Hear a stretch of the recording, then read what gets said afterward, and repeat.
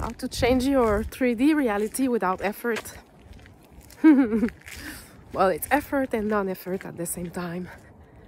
So your life is reflecting your belief about yourself. So it's a direct reflection. It has no opinion, it has no, it doesn't, it's not trying to do anything. It doesn't, you know, it doesn't want to give you anything or not give you anything. It's just a reflection. It's purely, it's pure. It's a pure reflection.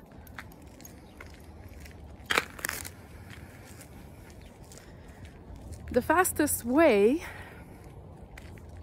to change your reality is to start to connect with being neutral. Being neutral is very simple. It's before we get polarized about something. it's before there is frustration, before there is excitement, there is neutrality. Neutral ground is your power.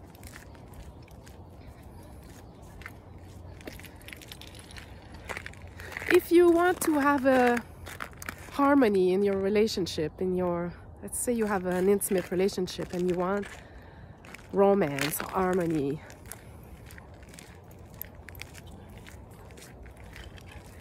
you have to unplug from the current situation when it happened in front of you. So let's say your paradigm now is conflict and argument.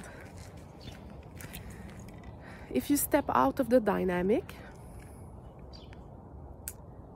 um, the conflict cannot go on on its own.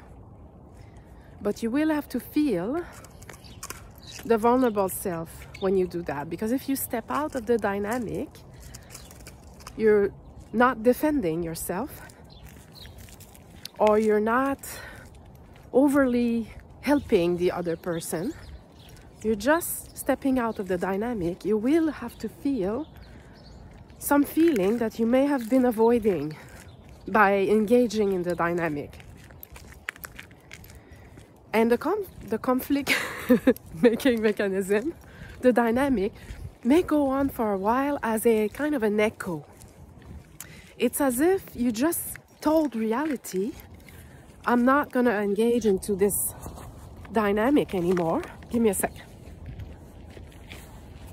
And you're receiving an echo of that reality for a while, asking you, Are you sure? It's like an advertisement. Are you sure that you want to step out of this dynamic? It's like you you see your new self is romance, joy, and so you are standing in your ground, not trying to get it, by demanding anything, just knowing it's going to happen, I deserve it. Like truly centered, neutral. And reality will shift, will have to shift because that's how it works. So either this person will grow up or will leave. And if the person leave, it's because they, they couldn't grow up because you are inviting them in a higher frequency, a higher reality. And either they step up or they leave. If they start to step up, you're the one inviting them in a better, higher frequency reality. And if they accept the invitation, they will start to meet their own shit because you're not participating anymore. And as they make their own shit, it's possible that they'll go through some turbulence and you will need to stand your ground until it shifts, really. Like be patient because maybe the other person has been in this dynamic for a very long time and they're not as conscious as you are. So either you, and then you can go intuitively, do I really does this relationship have value for me? Does it serve me? And am I ready to be patient because I have this knowing? Or should I leave? And if you leave, you leave. It's okay to leave. But you really have to be grown up, like to be that grown up. And it, there's a part, it's like you have to reparent yourself. You have to have your internal mom and dad.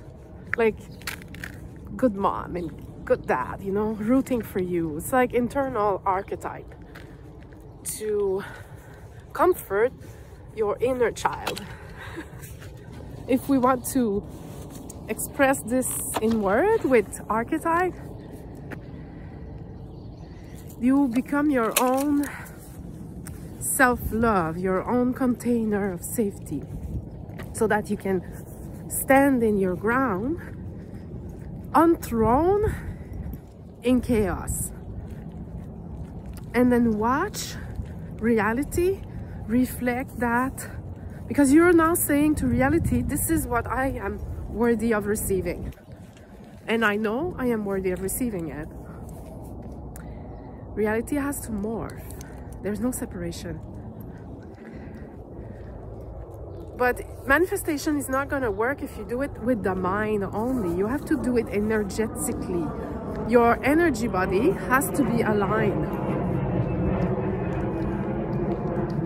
And if you are scared of not receiving it it's going to show in your energy body and you're going to start to take action that are not aligned with this intention that's why inner child work is efficient to shift your life because your inner child has to feel so safe, so loved, so valued from inside that it doesn't want to search it from the outside. It's not trying to search it from the outside. And then you can even start to hmm, embody the energy of romance, embody the energy of excitement and adventure, embody that energy of that future self that you are envisioning, your vision, your imagination. So you will start to take action that are matching that reality, which will accelerate the shift. That's conscious creation. You are the power of creation. The power of what is creating your life is your consciousness. Anything that you hold in consciousness is being reflected back at you. So, becoming more and more conscious, getting out of victim consciousness, will give you the abundance and the life that you want. It has to. It's a law, it's the law. It's a natural law. It's a universal law. It's how the universe works. You are the universe. you are. Everything that is appearing in your consciousness is your universe. So we each of us is the universe. Each of us, our life is our mind out picture, our mind pushed out. That's true magic. If you feel ready, willing, and able to start to shift your consciousness and your energy body, book a meeting with me. It's USD $222 as of now, as of today. I'll put the link in the description. And I wish you everything that you deserve everything that is already in store for you. Bye bye.